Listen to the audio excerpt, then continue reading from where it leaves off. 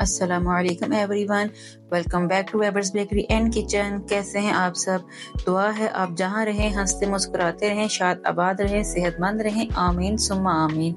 आज मैं आपको चॉकलेट स्पॉन्ज की रेसिपी को डिटेल के साथ बताऊँगी। बिगनर्स के लिए बहुत फ़ायदेमंद होगी। इसके लिए हमें चाहिए 80 ग्राम मैदा 100 ग्राम चीनी पिसी हुई 20 ग्राम कोको पाउडर एक टेबल स्पून कॉर्नफ्लोर चार अंडे और एक पिंच नमक का। बनाना स्टार्ट करते हैं। एक बोल में चारों अंडों को हमने इकट्ठा से तोड़ लेना है और इसको बीट करना है दो से तीन मिनट तक, ताकि ये ज़रा फ्लफी हो जाए। दो से तीन मिनट बीट करने के बाद हमने इसमें अपने ग्राइंड शुगर को ऐड कर देना है।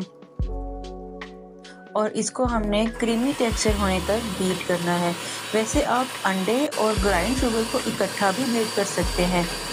अच्छा जी, अब हमने करना ये है कि हमारा जितने भी ड्राई इंग्रेडिएंट्स हैं, मैदा, नमक कॉर्नफ्लोर कोको पाउडर इनको हमने छान कर इस क्रीमी बैटर में ऐड करना है। लेकिन इकट्ठा नहीं, बल्कि थोड़ा थोड़ा करके थोड़ा थोड़ा करके हम छानते जाएँगे और फोल्ड करते जाएँगे, ठीक है?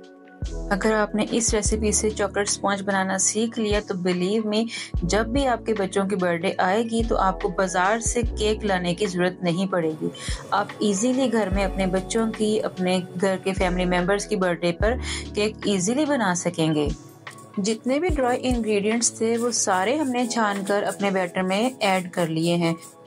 कोको पाउडर में थोड़ी सी गुटलियाँ होती हैं, उसको आपने इस तरह से ख़त्म कर लेना है। आज की बेस्ट विशेष है नबीला जफ़र के लिए, जो हमारी वीडियोस को फैसलाबाद से वॉच करती हैं। Thank you so much Nabila Zafar. जहाँ रहें, खुश रहें, शाद आबाद रहें। चलते हैं रेसिपी की तरफ़। केक मोल्ड मैंने पहले से ही रेडी किया हुआ था। केक मोल्ड का साइज़ सेवन इंच का है, जिसको मैंने कागज़ लगा कर ऑयल करके रेडी करके रखा हुआ है। अपने इस बैटर को हमने इसमें डाल देना है। और 35 से 40 मिनट तक इसको ओवन में बेक करना है। ओवन ना हो तो आप इसको पतीले में भी बेक कर सकते हैं। रिज़ल्ट सेम होंगे। टैप टैप करेंगे ताकि बबल्स जो है वो निकल जाएँ। उसके बाद हमने शाशलिक स्टिक लेनी है। ये टूथपिक के साथ आप इस तरह से केक में घुमाएँगे ताकि जो मजीद बबल्स हैं वो खत्म हो जाएँ। बेक करेंगे 35 से 40 मिनट। और ये देखें अल्हम्दुलिल्लाह केक बेक हो चुका है। इसको अब हमने ठंडा करने के लिए रखना है। उसके बाद हमने इसको डी मोल्ड करना है।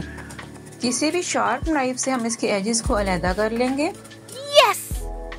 और उसके बाद ऊपर से टैप टैप करके इसको आराम से निकाल लेंगे। बहुत ही ज़्यादा इजीली ये निकल आता है। जो हमने पेपर लगाया था उसको हमने उतार लेना है। मैंने पूरी कोशिश की है कि बेसिक चॉकलेट स्पॉन्ज को मैं आपके साथ डिटेल के साथ शेयर करूँ। अगर आपने वनीला स्पॉन्ज बनाना है तो 20 ग्राम कोको पाउडर निकाल देना है और 80 ग्राम मैदे को 100 ग्राम कर देना है। दैट्स इट ये देखें हमारा केक, हमारा स्पॉन्ज बहुत ही ज़्यादा फ्लफी बना है, बहुत ही ज़बरदस्त ही बना है। और अब इसके हम स्लाइस करेंगे और इनशाला बहुत जल्द मैं आपको इसकी फ्रॉस्टिंग करना भी बताऊँगी। ठीक हो गया? चैनल के साथ जुड़े रहिएगा। वीडियो पसंद आए तो लाइक लाजमी किया करें जनाब। ये आपकी तरफ़ से एक प्यार होता है और मेरे लिए इनाम होता है। आप मेरी वीडियोस को जहाँ से भी वॉच करते हैं, अपना नाम, अपने शहर का नाम लाजिम मेंशन किया करें। फिर मुलाकात होगी। टेक केयर अल्लाह हाफिज।